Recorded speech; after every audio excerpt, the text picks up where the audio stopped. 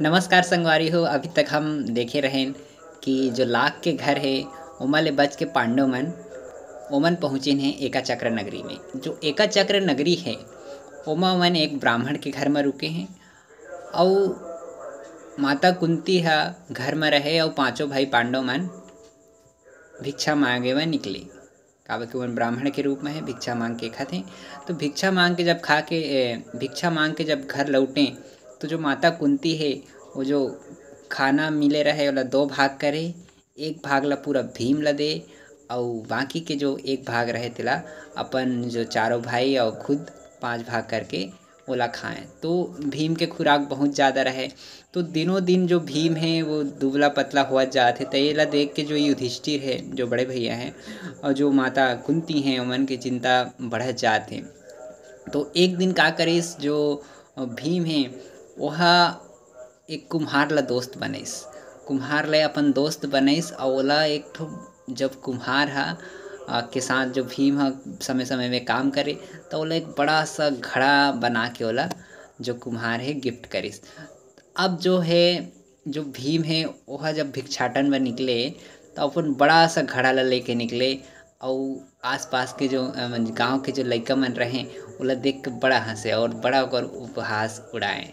तो ऐसे ढंग से जीवन चलत रहे तो एक दिन का होते माता कुंती और भीम घर में बैठ रहते और बाकी चारों भाई, पांडव माँ के चारों भाई उमन गए रहते हैं भिक्षाटन के लिए। तब माता कुंती है सुनते कि जो, जे ब्राह्मण के घर में मन हमें वो ब्राह्मण मन चर्चा करत रहते मन कि जो पति है कहत रहते कि आज मैं चल देता हूँ राक्षस के भोजन बने बा और तुमन की ज़िंदगी सलामत रही तो तुमन जियत खात रही है ऐसे करके। तो जो ओकर पत्नी है ओकर बात ला काट के कहत रहते कि नहीं जी आ, मैं मर जात हूँ मैं तो कमाए खाए भी नहीं सकूँ। आप मन ज़िंदा रही है तो दूसरी पत्नी ला सकत था और जो परिवार है ओकर पालन पोषण कर सकत था। तो जो ओकर पति है कहते धिक्कार है ऐसे जीवन लग कि कैसी बात करती हो प्रिय? ऐसे करके जो अपन पत्नी ला वह समझाते और ओला देख के जो ओकर बेटी रहते वह कहते, पिताजी, आप मन मोला राक्षस करा भेज दो, मैं खाना लेके चल दूँ इतना में देख के जो छोटे बेटा रहते सबसे, वो डंडल लेकर के खड़े होके कहते, नहीं पिताजी, मैं तो राक्षस मैं मार दूँ ऐसे कह के जो परिवार में चिंताजनक माहौल बने हैं तो ओला देख के जो माता कुंती है, वह ब्राह्मण करा पूछते कि का समस्या महुल बतैया, का कथे इतना दिन के तुमन के घर में हो तो जो वो ब्राह्मण है वह बताते कि पास के जो जंगल है, गुफा में एक बक नाम के राक्षस रहते और वो वो हा तेरह साल ले हमला परेशान करत थे और रोज हर एक परिवार के एक एक आदमी मन ओकर बा खाना लेके जाते और ओकर भोग बन जाते खुदे। तो ऐसे कैसे हो तब बताते कि हमार जो एक राजा हवे, हमार जो देश के राजा है, वह काहे निकम्मा आदमी है। और वह हमार, जब ओला ये समस्या के बारे में बताए गए रही से तब वह ये समस्या के समाधान नहीं करिस और कहिस तुमन अपन मन निपट लेवा। तो हमार गाँव के मन का करते हैं कि एक एक परिवार के एक एक जन जाके, जो राक्षस है ओकर भोग बन जाते हैं तो आज हमार पारी है तो आज मैं सोचा था कि हमार पूरा परिवार ला जाके राक्षस के भोग चढ़ा दूँ। तो माता कुंती है, इतना बात ला ध्यान से सुनते हैं। और जो भीमसेन रहते आज जो घर में रुके है, ओकर से बात करते और जाके ब्राह्मण है, उमन कथे। हे ब्राह्मण कथे इतना दिन से आप मन के घर में रहा थन।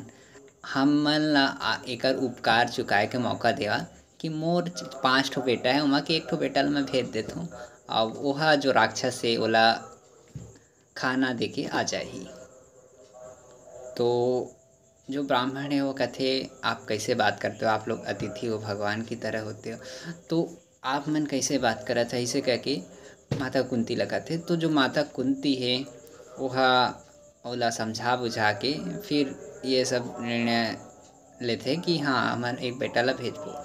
तो जो युधिष्ठिर रहते, बड़े भैया रहते तो वह थोड़ा सा हिचकिचाते हैं। माता जी आप कैसे कर रहे हैं? ऐसे करके तो जो माता कुंती है, बताते हैं कि, अरे इतना धुल ले, जो भीम से ना हम लोग उठा के यहाँ तक ला सकते हैं। और जिहा हिडिम जैसे राक्षस के वध कर सकते वह बकासुर ला ज़रूर मार दी।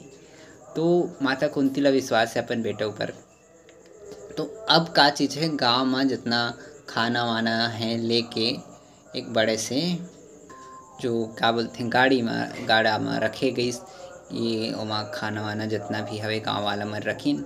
और ओला लेके जाए के बारी है भीमसेन के।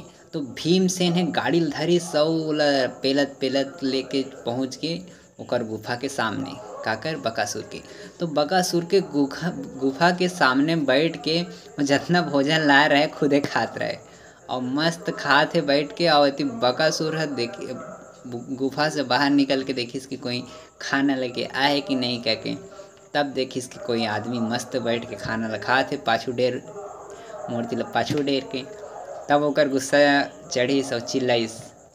तो भीम से न पाछू डेरे डेरे का आते अरे यार, थोड़ा खाना वाना खाए देना ना यार, ऐसे कह के। तब जब बकासुर और गुस्सा आ गए, अरे कैसे बात करते हैं? ऐसे कह के तो वो हा का है जो पास में पेड़ रही से वो लोग उखाड़ के भीमसेन की तरफ़ फेंक दिस। अब भीमसेन की तरफ़ फेंकिस तो जो भीमसेन है ओला अपन डेरी हाथ में ही रोक दीस और जो राक्षस है वह ओकर कराइस और ला उठा के पटक दिस। अब कहा थे कि थोड़ा सा आराम तो करे दे यार कहा थे। ऐसे कह के भीमसेना मजाकिया माहौल में बकासुर से ए, पंगा लेवा थे अब ओकर बाद जो भीमसेन है उठिस। अब कहा थे, अब चल उठ जा। अब चल उठ जा, ऐसे कह के फिर बकासुर के साथ उमन के घमासान युद्ध हो गए। और घमासान का मतलब पूरे ही एक पक्षी युद्ध कहा जा सका थे कि जो भीम है, ओला उठा के पटक दे, फिर बकासुर बकला के उठे। फिर ओला उठा के पटक दे, ऐसे करके मुँह के भल में पटक दीस और रीढ़ के हड्डी ला अपन कोहनी मार के ओकर पीठ में तोड़ दिस। तो ऐसे करके जो भीम है बकासुर के वध करिस, और ओला ला के जो नगर के चौराहा है उमा ला के घसीट के मढ़ा दिस, और ये सब हाल ला जाके माता कुंती ले बताइस। तो ऐसे ढंग से बकासुर के वध होगी। अब आगे की कहानी ला अगले वीडियो में देखो। धन्यवाद।